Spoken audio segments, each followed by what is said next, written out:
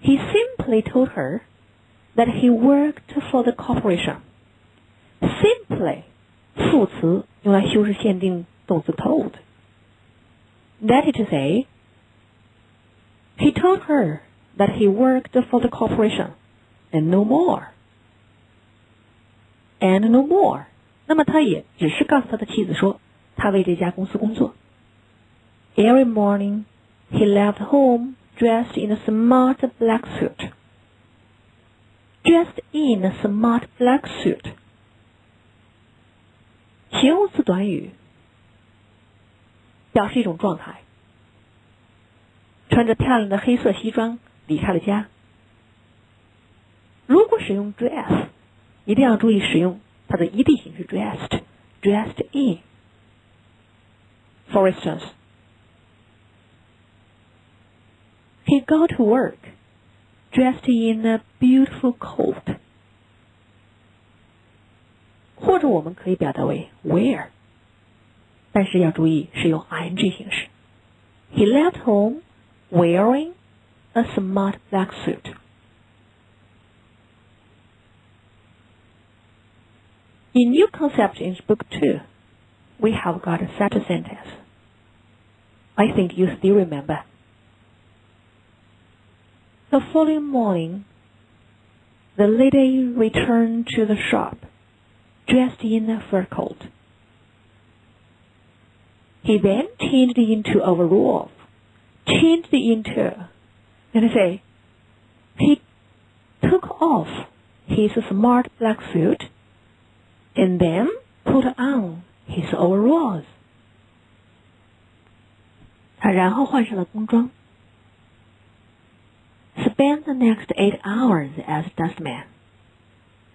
Before returning home at night, he took a shower and changed back into his suit. Before returning home, you know, before he returned home at night. 那么同学们发现，在 before 所引导的这个时间状语从句当中，它的 return 的逻辑主语 和主句的主语 he 是保持一致的。所以这个时间状语是由介词 before 和动名词搭配而成，那么就相当于 before 所引导的时间状语从句。Before he returned home at night，那么我们应该用 before 和动名词搭配，以及 before 连接词引导时间状语从句，这两种结构形式有什么需要注意的地方呢？我需要再次强调，如果运用动名词形式。动名词的逻辑主语必须是主句的主语。Now translate my sentence into English。回家以后，他好好的休息了。他回家以后，他休息，主语是一致的。So after getting home, he had a good rest。吃饭前， 他完成了所有的作业。before having dinner, he finished all his homework. 那么在这里，晚上回家之前呢，他又换回了自己的漂亮的西装，换回 change back into，要 change into change back into。Why? We know because he wanted to keep his secret forever. He was afraid that his wife knew the secret. Alfred did this for over two years, and his fellow dustman kept his secret. Not only Alfred Bloggs himself, but also his fellow dustman kept the secret. Alfred's wife had never discovered that she married a dustman.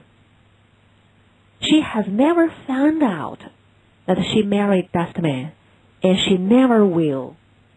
She never will, you know, she will never discover the secret. 这个句式结构，she never will，为什么没有表达为 she will？never。同学们有一种习惯的理解方法，never 这样的副词总是用在助动词之后，实义动词之前。但是，在省略句式当中，never 要用在助动词之前。For example, Will you go to see her? 如果全句回答的话，I will never go to see her。而结略回答方式，No, I never will。我们刚刚提到了，在节略表达方式当中，副词应该放在助动词之前。I never will，而不是 I will never。OK，Are you quite clear? Now move back to our text. For Alfred has just found another job. He will soon be working in an office. So we know Alfred had become a white collar worker, not a blue collar worker anymore. He will be earning only half as much as he used to. That is to say, he will be earning less than he used to. Exactly speaking, half as much as he used to. 很显然，他的工资收入比以前要低。更确切的来讲， 是以前的一半。在这个表达方式当中，half as much as 是什么的一半？注意关键句型 as as。这个表达方式可以与 half、a quarter、twice、three times 等连用，表示倍数。一定要注意词序。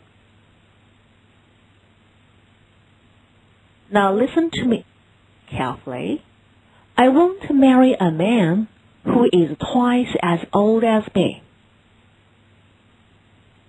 I want to marry a man who is twice as old as me. Twice as old as 年纪比我大一倍的人是两倍，比我大一倍。We got three times as many people as we expected. 来的人数要我们比我们预料的多两倍，言外之意是三倍。We got three times as many people as we expected. This room is about three times as large as that one. 这个房间大约是那个房间的三倍大。This room is about three times as large as that one. 同学们发现，as as 之间我们需要用的是形容词或副词原形。As old as, as many as, as large as，表示是几倍。那么，如果想表达比什么什么多几倍、长几倍，还可以采用另外一种比较级结构形式——比较级。那么，这个时候我们常用的句子结构：times 倍数和形容词、副词比较级搭配连用。For example. This road is four times longer than that one. This road is four times longer than that one. 如果表达为 as as 句型结构，This road is five times as long as that one。同学们是否注意到了这里的数词的变化？This road is five times as long as that one，那么它们所表达的语义才是一致的。 Okay, now let's study the last sentence. But he feels that his rising status is well worth the loss of money. 然而，他觉得他地位上的提升大大的弥补了他金钱上的损失，这件事情是很值得。同学们一定要注意这个框架结构，is well worth the loss of money。 如果同学们想表达，他所得到的是很值的，大大的弥补了他在时间上的损失。What he obtained is well worth the loss of time.